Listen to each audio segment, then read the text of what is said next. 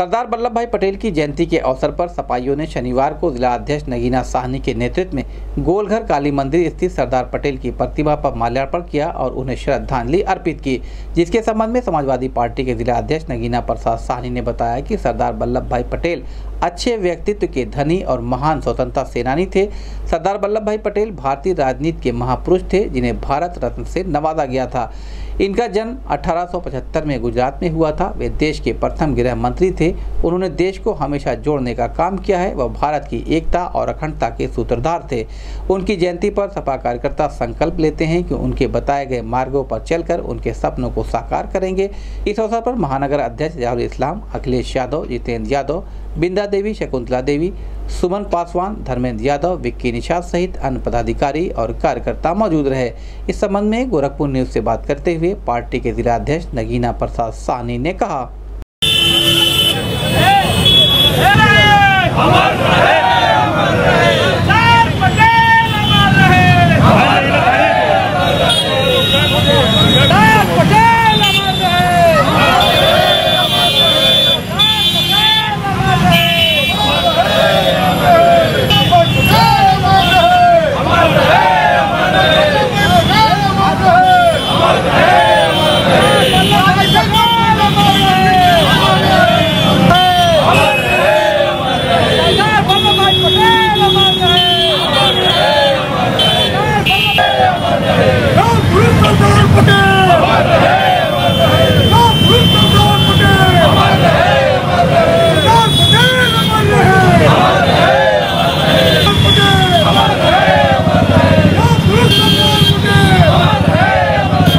भारतीय राजनीति के महापुरुष, सरदार वल्लभ भाई पटेल, जो कि भारत रत्न थे, जिनका जन्म 31 अक्टूबर 1875 में हुआ था, उनका देहावसान 1950 में हुआ था।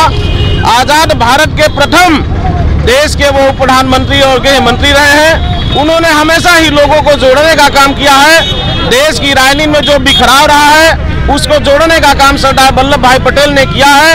आज उनके जयंती पर हम लोग समाजवादी पार्टी के राष्ट्रीय अध्यक्ष माननीय अखिलेश यादव जी के निर्देश पर आज गोरखपुर के इस प्रतिमा पर माल्यार्पण कर श्रद्धा सुमन अर्पित कर रहे हैं और हम लोग समाजवादी लोग उनके अधूरे सपने को पूरा करने के लिए कृत संकल्पित हैं।